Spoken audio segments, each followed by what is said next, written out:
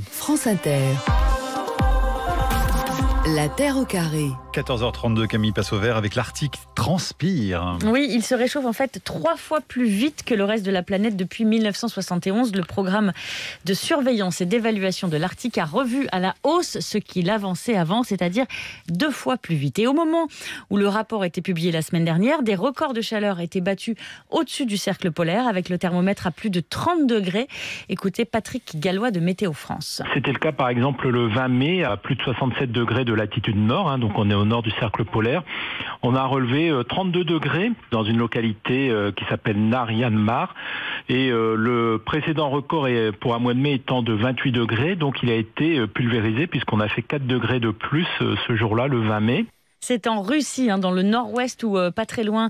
On a eu un beau 35 degrés à Tigvin, idem à l'est de la Finlande, une série de 31, 32, 33, 34 degrés enregistrés. Parfois, alors plus de 20 degrés au-dessus de la normale pour la saison. Donc plus de 20 degrés au-dessus de la normale? Oui, oui. Par exemple, si je prends le, cas de cette station là, qui est très au nord, à Narian-Mar, donc la normale euh, à cette époque de l'année était de, 6 degrés et donc on a atteint 32 degrés, donc ça fait un différentiel de 26 degrés. Alors ça paraît euh, absolument dingue, hein, d'autant plus qu'on se caille, nous, avec euh, de la pluie et parfois de la grêle beaucoup plus au, sud. Euh, mais ces énormes écarts avec les normales ne sont pas si étonnants que ça pour Patrick Gallois. J'incite sur le pas si étonnant parce que, un petit peu quand même, vous allez comprendre. C'est quand même typique du printemps d'avoir ces gros écarts à, la normale. Hein. C'est encore plus accentué dans des régions continentales comme la Russie. Donc le fait d'avoir de gros écarts par rapport à la normale n'est pas en lui-même inhabituel. Bon là, quand on atteint plus de 20 degrés, voire 26 degrés par rapport à la normale, c'est effectivement euh, tout à fait exceptionnel, puisque en l'occurrence, le record a été battu de 4 degrés. Et pourquoi, au-delà euh, de ce phénomène météorologique qui illustre hein, la situation climatique, pourquoi l'Arctique se réchauffe-t-il plus vite qu'ailleurs? Là, c'est Gérard Kriner qui explique, il est directeur de recherche au CNRS, modélisateur du climat, spécialiste des régions polaires à l'Institut des géosciences de l'environnement de Grenoble. Normalement, il y a de la neige dans ces régions. Alors si vous vous n'avez pas de neige parce que ça se réchauffe, vous avez un réchauffement supplémentaire par le fait que euh, la neige a disparu, le sol est devenu plus noir, plus sombre, il intercepte plus de rayonnement. Donc il peut y avoir un effet comme ça. Donc en fait, c'est un cercle vicieux. Il n'y a plus de neige, donc ça se réchauffe de plus en plus, donc il y a moins de neige, etc. C'est un vrai cercle vicieux.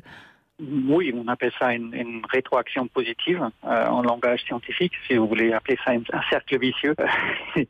c'est un peu ça, oui. Ah, voilà, on a le bon terme. Hein. écoutez ce qu'il dit euh, sur les, les, records de température enregistrés. Aujourd'hui, c'est encore exceptionnel. On le relève encore. On en va parler dans les médias. Probablement, dans 50 ans, ça ne sera plus exceptionnel. Voilà, ça devient probablement la nouvelle normale. Parce qu'il ne pourrait euh, plus y avoir de glace l'été dans l'Arctique, hein, plus de banquise, donc plus d'albédo. C'est ce qu'il expliquait tout à l'heure. La chaleur du soleil normalement renvoyée dans l'atmosphère grâce au pouvoir réfléchissant du blanc, alors que l'eau, elle, qui est sombre, absorbe la chaleur. Et ce dérèglement climatique au pôle Nord a des conséquences, vous le savez, partout sur Terre, avec euh, augmentation du niveau des mers, dégel du pergélisol, possibles phénomènes extrêmes plus intenses et longs. Quant aux bouffées de chaleur comme celles que l'Arctique euh, vient de connaître, elles sont compenser ailleurs. C'est pour ça qu'on se gèle, Mathieu. Écoutez Patrick Gallois c'est compensé euh, par de l'air froid qui inversement descend des régions polaires à un autre endroit. Et c'est le cas actuellement sur l'Europe occidentale. Et donc l'un et l'autre se compensent parce qu'il y a quand même un équilibre qui se fait globalement à l'échelle de la planète. Et là, aujourd'hui, alors les choses se rééquilibrent un petit peu. Il fait euh, aujourd'hui, par exemple, 16 degrés à Tigvin en Russie, où il faisait 35 degrés la semaine dernière.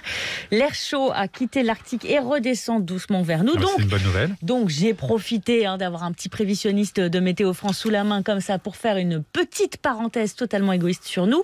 Et ce mois de mai aussi pourri qu'interminable. Alors là, on en sort. En fait, les jeudis, on va retrouver du soleil au sud. Et à partir de vendredi, euh, pour tout le monde, on va retrouver des conditions euh, si ce n'est estivales, mais en tout cas des conditions euh, plus classiques pour une fin mai. On sera euh, par exemple au nord autour de 22 degrés et puis on pourrait avoir 26, 27 dans le sud.